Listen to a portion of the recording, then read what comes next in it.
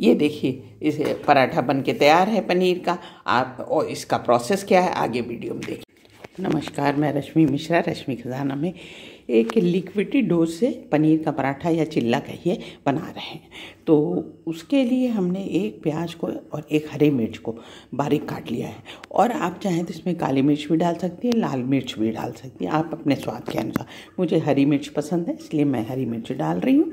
और इसमें थोड़ा सा भुना ये जीरा पाउडर और थोड़ा सा चाट मसाला।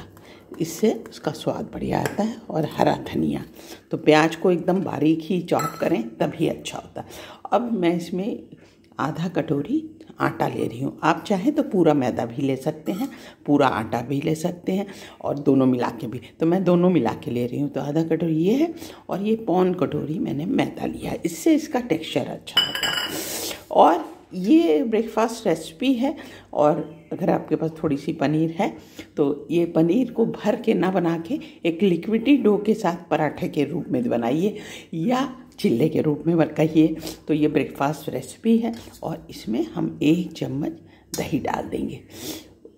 उससे एक फ्लफीनेस आ जाती है इसमें। और अब ये हो गया, अब ये पनीर भी डाल देंगे। सब कुछ डाला और उसके बाद नमक। स्वाद के अनुसार, बस। करके अब इसको थोड़ा थोड़ा पानी डालेंगे और इसको मिला लेंगे। ज़्यादा एक साथ डालेंगे तो लम्स पड़ जाएँगे तो लम्स ना पड़े तो अच्छी तरह से इसको फेंट लेंगे। तो जैसे थोड़ा सा पानी डाला, इसको हम अपने इससे, विस्कर से ऐसे ऐसे करके एकदम अच्छी तरह से इसको मिला लेंगे और एक लिक्विड ड्रो बन जाएगा।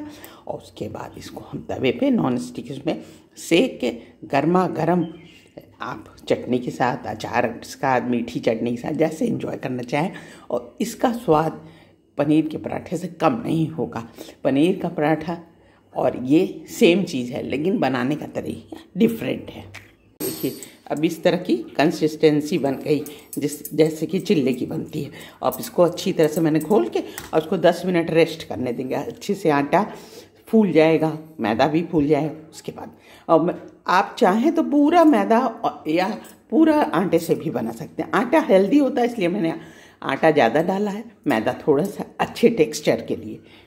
अब ये रेडी है, और जब बनाएँगे, आपको दिखाते हैं बनेगा, और उसके बाद चटनी अचार के साथ सर्व करेंगे। इस तरह से हम डालेंगे लिक्विड डो और उसी का चिल्ला या पराठे के रूप में सर्व करेंगे पनीर का। पनीर और आटे के साथ, चाहे आटा यूज़ करिए, चाहे मैदा। ये देखिए, ये हमारा पनीर का चिल्ला बन के तैयार हुआ।